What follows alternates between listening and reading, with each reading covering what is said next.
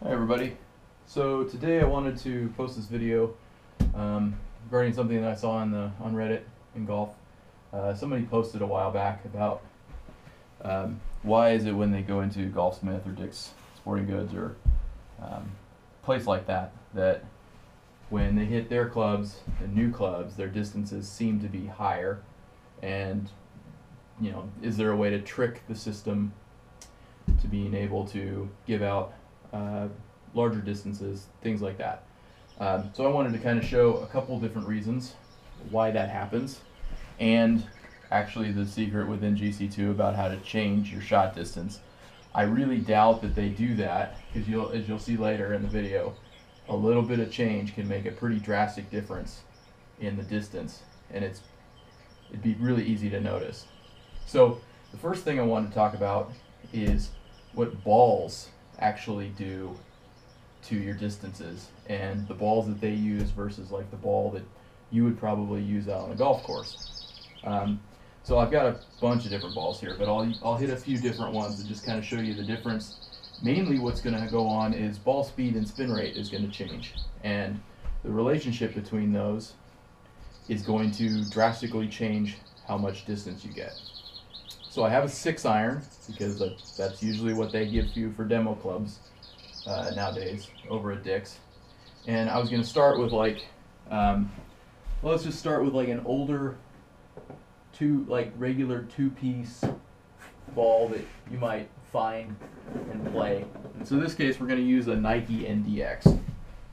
Just a standard, you know, not a high spinning distance ball. But as you're going to kind of see, they actually aren't terribly low spinning uh, either. So now for me, I should be around 6,000 RPMs with a six iron.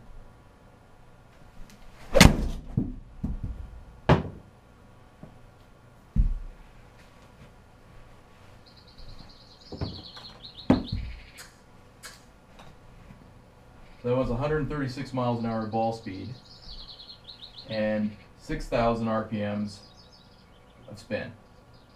And it produced a shot just over 190 yards, which is about my normal. I'll hit one more with it and then let's move on.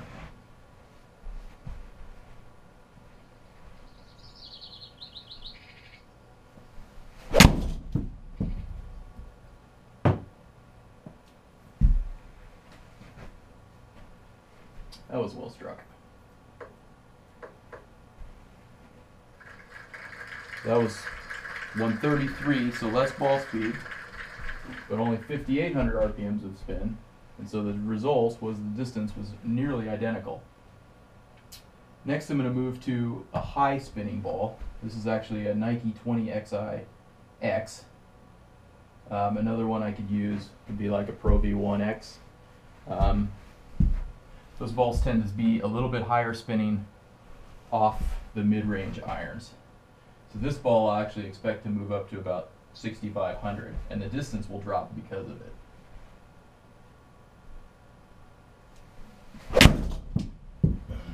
That was a really horrible swing.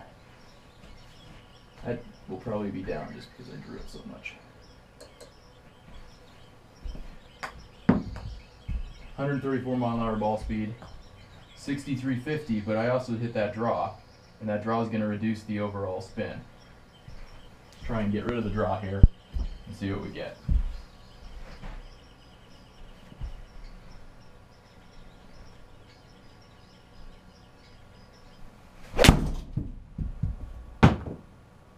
Well, most of the draw's gone there.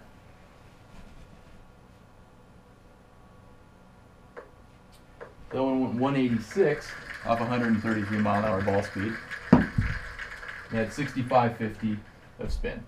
So an additional 500 RPMs of spin with the same ball speed produced six less yards. Now we're going to go to a ball that you would actually hit in a place like Golfsmith. This is a ball I actually took from them, uh, with their permission of course. Uh, it's a Callaway practice ball. Um, this one's fairly new, so it's not like one of those older beat up Srixons that I always see in there when I go in there and play around. This ball tends to be a little bit closer to what uh, a ball you would actually play on the course would be. Oh,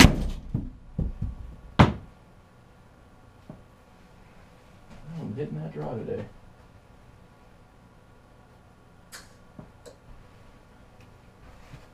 So that was 138 miles an hour of ball speed, 5,800 RPMs of spin. So a lot of that could be attributed to the higher ball speed and the draw. Why it went further, I think that was 196 carry. One more. Try and get rid of that hook. Oh, that did it. Big block.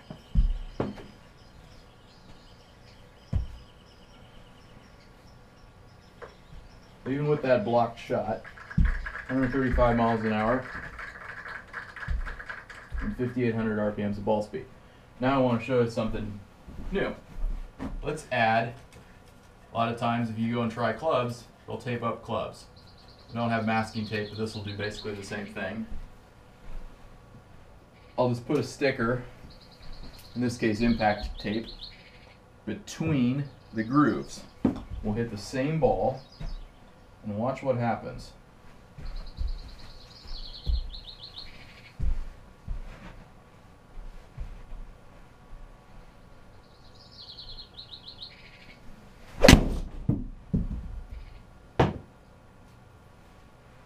That was a huge hook. So now, 138 mile an hour ball speed because of this impact tape dropped the spin to 29.45 and the result was a shot that was like 230 yards. I don't know exactly 220 230 off a six iron. Not anything realistic but produced numbers because the tape got in between the grooves and didn't actually allow the ball to create any spin. I hit it one more time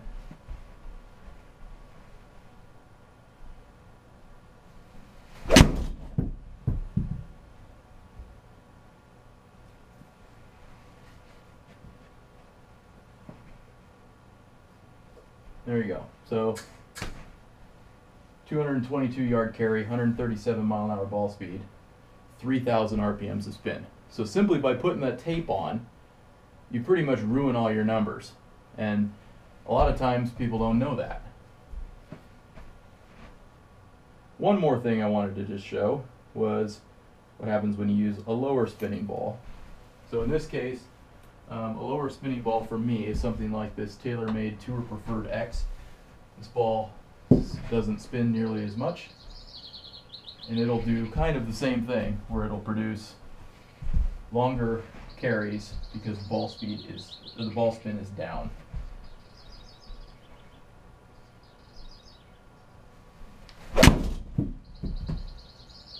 Not the best kit.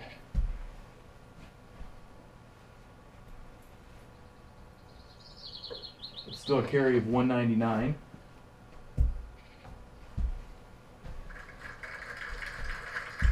One hundred thirty-six mile an hour ball speed, forty-nine hundred RPMs of spin, and that's with the tape removed.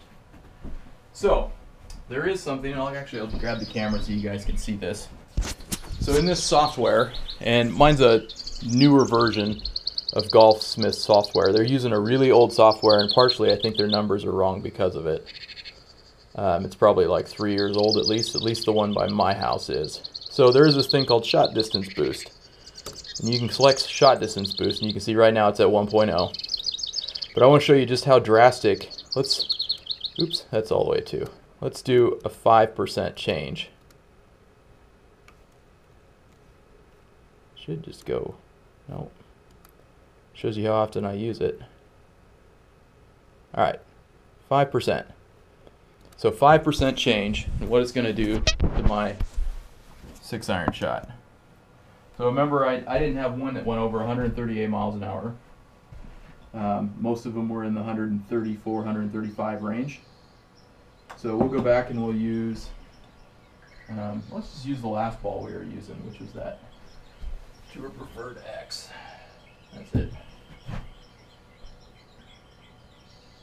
So the last shot I did here was 138, I think. So now let's show what 5% does.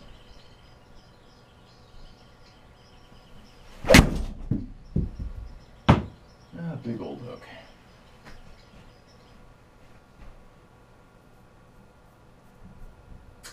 So now all of a sudden my carry was 211 and I hit it 143. I really didn't hit it 143, it just tacked on 5%. Now the funny thing is this goes all the way up to 2. So you get a little crazy and it actually it's laughable, but you can set this shot boost all the way to 2 and it gets pretty funny of what actually happens. Same ball.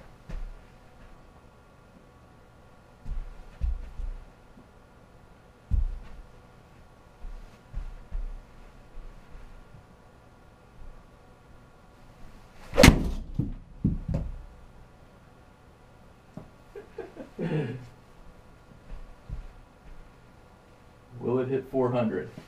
That's not gonna hit 400. 350 at least. Oh, it hit the house. So now it says I had ball speed of 273 miles an hour, which is faster than any long drive champion. And I hit that one like 360 yards for a carry with a six iron. So obviously that's believable. So for the most part, to sum this up, I don't think, even though you can use the shot boost, I don't think they actually do it. Most, I would assume that the overwhelming majority of time has the shot boost set at one, so that there is no shot boost. The second thing is always be aware that if you tape up your clubs, they're going to be inaccurate. Watch the ball spin rates that you see from the launch monitor. If you're getting something like 3,000 RPMs or 2,500 RPMs or something off of a mid iron, the chances are it's inflating your distance number. And you very well could bring your own club in and you'll get that same spin rate, and that'll also inflate the number.